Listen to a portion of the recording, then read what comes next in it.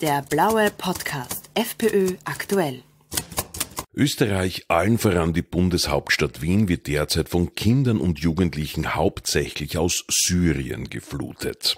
Allein in Wien sind es monatlich 350, die aufgrund von sogenannten Familienzusammenführungen bei uns leben und versorgt werden dürfen. Anerkannte Flüchtlinge können nämlich unter bestimmten Bedingungen Ehepartner und leibliche minderjährige Kinder und Verwandte nachholen. Ich bin jetzt übers Internet mit FPÖ-Bildungssprecher Hermann Brückel verbunden. Grüß Gott. Schönen guten Tag, Herr Reismann, und liebe Grüße nach Wien. Ja, Abgeordneter, jetzt einmal zum Grundsätzlichen. Diese gesetzmäßig verankerten Familienzusammenführungen sind ja eigentlich nichts anderes als eine versteckte Migration aus wirtschaftlichen Gründen, eben unter dem Deckmantel des Asyls, oder? Ich würde das gar nicht mehr als versteckte Migration bezeichnen. Hier wird der Masseneinwanderung nach Österreich Tür und Tor geöffnet. Und Asyl wird hier nur als Vorwand, als Deckmantel benutzt, um eben aus wirtschaftlichen Gründen nach Österreich zu kommen.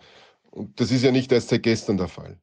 Ich kann diese Menschen schon verstehen, die sich hier persönlich verbessern wollen. Aber man muss ja eines auch ganz klar ansprechen. Es fehlt ihnen oftmals an Bildung, an Ausbildung. Vielfach fehlt es ihnen an Leistungswillen und ganz besonders oft auch an Integrationswillen. Und Konflikte sind hier vor, programmiert und wir importieren uns hier damit diese Probleme. Und die derzeitige Regierung, und das ist das Schlimme, die derzeitige schwarz-grüne Regierung löst diese selbst geschaffenen Probleme ganz einfach nicht. Ich möchte Ihnen hier ein kurzes Beispiel geben, weil es sehr aktuell ist.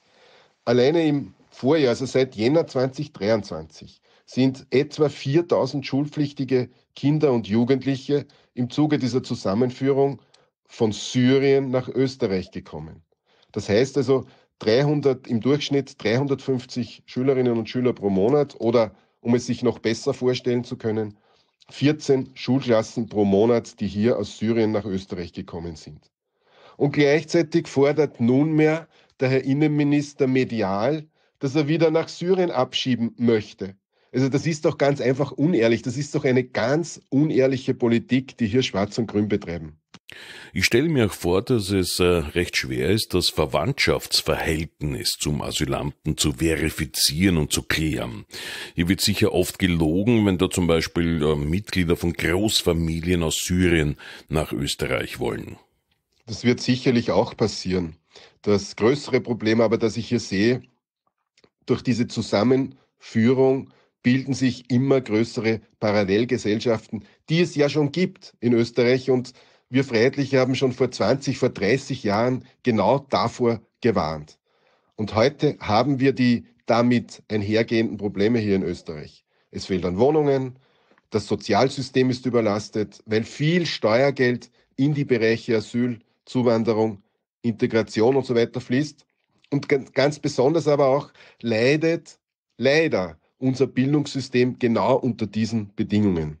Allein im Vorjahr sind etwa 7000 Kinder und Jugendliche auf diese Weise ins Land zu uns gekommen und für die gilt hier natürlich in Österreich die Schulpflicht. Wie geht das dann vonstatten? Ja, dazu muss ich sagen, dass das ja nicht einfach abgearbeitet wird im Sinne, äh, die Schüler kommen jetzt ins Klassenzimmer und beteiligen sich am Unterricht ganz normal die können ja nicht Deutsch, wenn sie da jetzt ins Klassenzimmer kommen. Und daher können sie dem Unterricht auch nicht folgen. Und das wiederum überfordert viele Lehrkräfte in den Schulen. Und damit einhergehend ist direkt verbunden natürlich auch eine Deattraktivierung des Lehrberufes. Was in Zeiten eines akuten Lehrermangels, das muss man ja auch sagen, was in Zeiten eines akuten Lehrermangels nicht gerade von Vorteil ist. Aber ein zweites Problem, das sich hier auch stellt, äh, ist ja, dass man einen Mehraufwand betreiben muss, weil man sich um diese Migrantenkinder ganz einfach als Lehrerin, als Lehrer ganz einfach mehr annehmen muss. Und das geht natürlich auf Kosten der Bildung der anderen Schüler, nämlich jener Schüler, die dem Unterricht sehr wohl folgen können. Und das ist an sich das Dramatische an dieser ganzen Sache in dieser Situation, weil dadurch einfach unser Bildungssystem insgesamt leidet. Vor allem aber leiden die einzelnen Schüler in ihrem Fortkommen. In vielen Schulklassen in Österreich, hauptsächlich in den Städten, gibt es ja bereits jetzt große Probleme mit nicht deutsch sprechenden Migrantenkindern und ihren oft auch religiös motivierten Mentalitätsunterschieden. Wie groß ist eigentlich die Belastung für die Lehrer und die anderen Schüler, Herr Abgeordneter? Ja, die Belastungen sind sicherlich für alle sehr, sehr groß.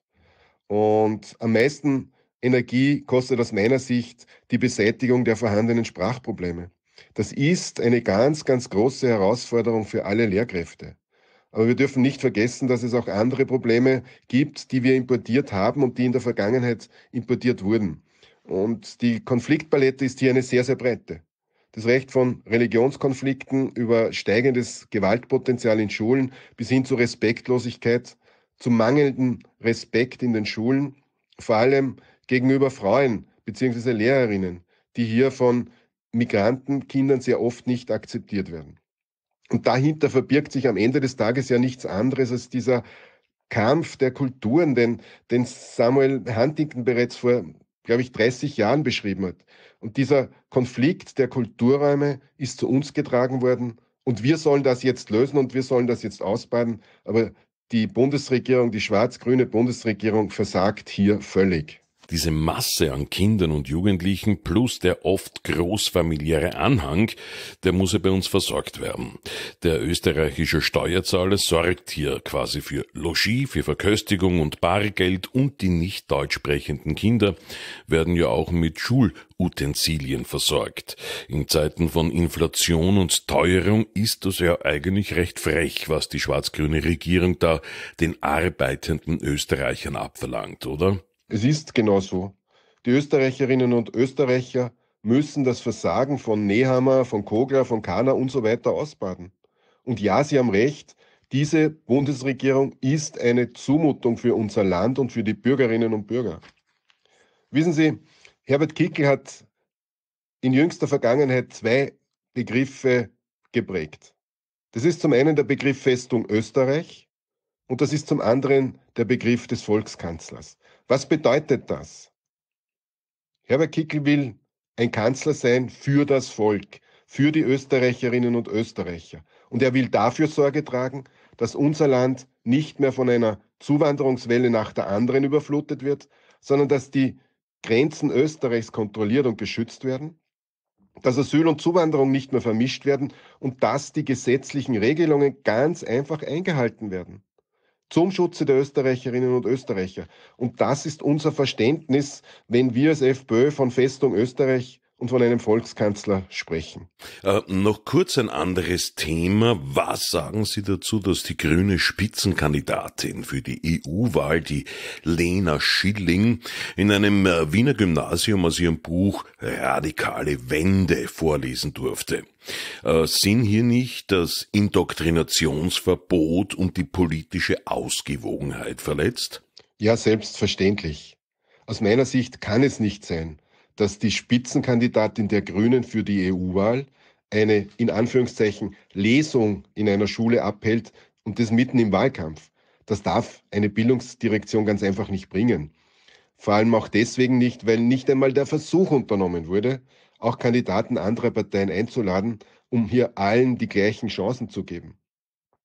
Also äh, Sie wissen wahrscheinlich, wir haben hierzu eine Anfrage auch an den Bundesminister für Bildung gestellt und der schreibt in seiner Antwort unter anderem, dass von den Schülerinnen und Schülern auch sehr kritische Fragen an die Vortragende gestellt wurden, wie zum Beispiel, wie sehen Sie, wie stehen Sie zu den Protesten der sogenannten Klimakleber oder inwieweit waren die nicht genehmigten Protestformen gegen die Lobau-Autobahn und die Stadtstraße zulässig?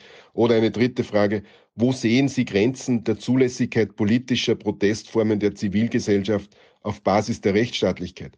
Also das sind keine kritischen Fragen, sondern ich sehe es als Möglichkeit, dass man hier einen nicht legitimen Protest als zulässig gesund betet.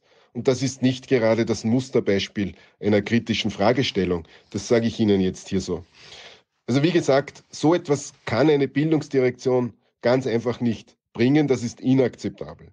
Und diese Versuche, Jugendliche politisch zu indoktrinieren, die darf es künftig ganz einfach nicht mehr geben. Mhm. Herr FPÖ-Bildungssprecher Brückel, vielen Dank für das Gespräch. Ja, vielen Dank, Herr Reismann, dass Sie mich wieder zu Ihrem Podcast eingeladen haben. Ich wünsche Ihnen noch einen schönen guten Tag und liebe Grüße nochmals nach Wien. Der blaue Podcast FPÖ aktuell.